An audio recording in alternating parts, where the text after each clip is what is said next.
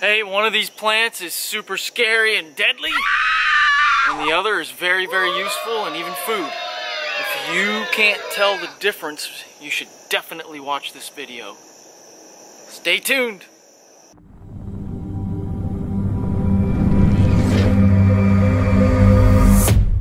Joel here from American Survival Co. and this is a very, very useful video, especially if you're just getting into foraging. Now, foraging can be overwhelming, especially to the beginner, and one set of plants that always cause a lot of fear and anxiety and maybe even turn people away from foraging as a whole is water hemlock. Now, a lot of people just getting into foraging and wild edibles, they hear about, you know, this horrible plant called water hemlock, and it is. It's very deadly. It's something that can literally kill you. Um, and then there's a lot of concern with, well, I heard it looks like elderberry and things like that. And then people that have been foraging for a while tend to forget why anyone would ever confuse the two. Um, and now it's very important not to, but come with me and we're going to take a closer look at these plants. I actually have an elderberry behind me. So this is one we're going to spend a little bit of time on. It's not the best example, but it's one that still has some blooms on it and I think we can get the point across here. But from far away,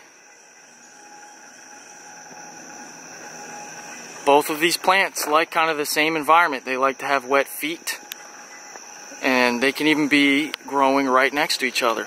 But as we come in closer here, let's look at the blooms themselves. Now it is a compound umbel, but even from far away, you can discern a different shape to it.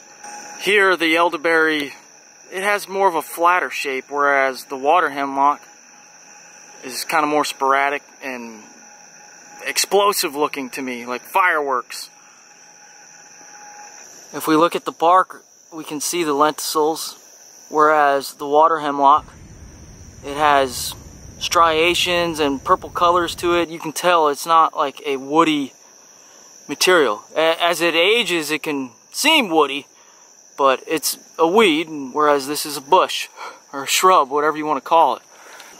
So if we take a look closer at the leaves themselves, they have toothy margins, just like water hemlock.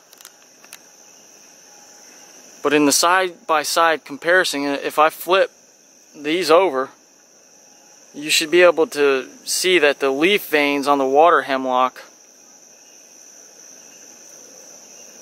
are a lot more pronounced. A really awesome foraging instructor named Green Dean has a great page on this. You should go check out his website, eattheweeds.com. But how he likes to describe that is water hemlock works out. And so hopefully you can see the difference there. As we continue on down the plant, notice how the new growth is green. That's always something that piques my interest when I'm, you know, analyzing plants. A lot of useful things have that characteristic, whether it's blueberry or box elder, huckleberry, elderberry, but the new growth is green, as you can see in these leaves right here. And as we travel down the bark, here you can see some lenticels. It looks completely different than the water hemlock. And that really is your, your biggest giveaway. Even if there's no flowers, there's no berries, these are very different looking plants. And so they don't need to be as scary, but you should treat it with respect. Don't ever, ever ingest anything that you don't have a 1000% certainty of what it is.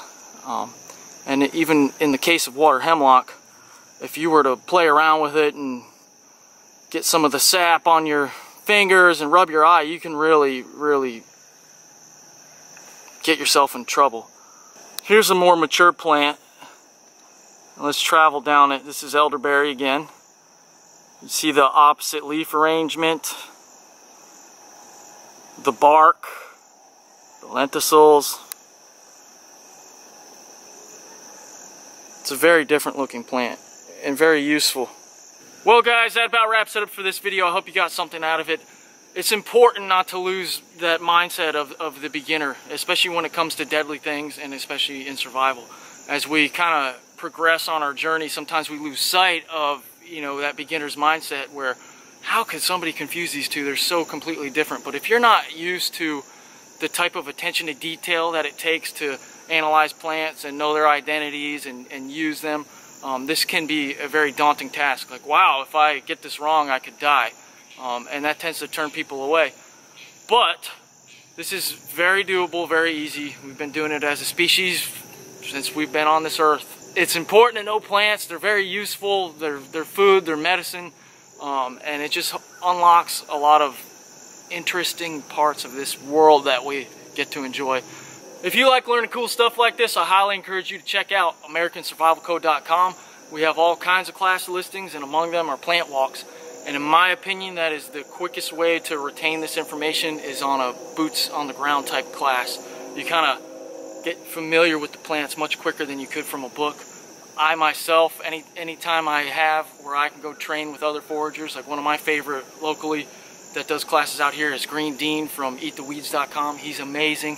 And if you can't check me out, check him out. Uh, just get out there and learn the stuff. It, it, to me, it's very enriching and, and, useful knowledge, and it just breeds uh, stewardship of the land, especially for the kids and adults. It's, it's just really rewarding to get into. and obviously, it's a lot easier to eat stuff that doesn't run away from you. So check it out. Maybe I'll see you out here and I'll catch you guys on the next video.